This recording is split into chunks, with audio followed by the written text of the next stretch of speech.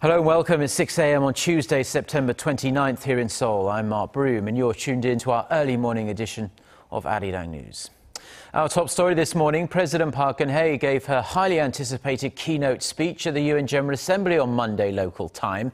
As expected, President Park used it as an opportunity to warn North Korea about the consequences of further provocations. Hwang Sung-hee reports from New York.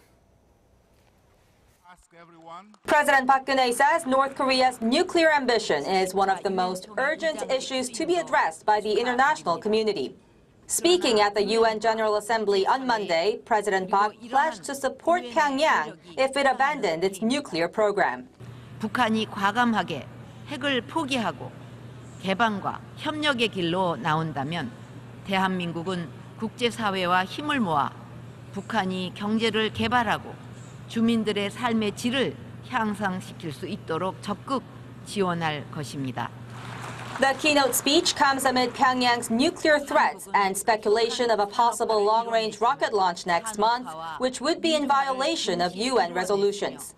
President Park warned that a fresh provocation will only damage the hard-won atmosphere for inter-Korean dialogue and undermine efforts to restart the long-stalled six-party nuclear talks. The Koreas are set to hold reunions for war-separated families in October, following a landmark inter-Korean agreement last month. 특히 이산가족 상봉을 비롯한 인도주의 문제가 정치, 군사적 이유로 더 이상 외면되어서는 안 될 것입니다. President Park stressed that a peaceful reunification will ultimately lead to a nuclear-free and prosperous Korean peninsula where humanitarian rights are guaranteed. Hwang Sung-hee, Arirang News, New York.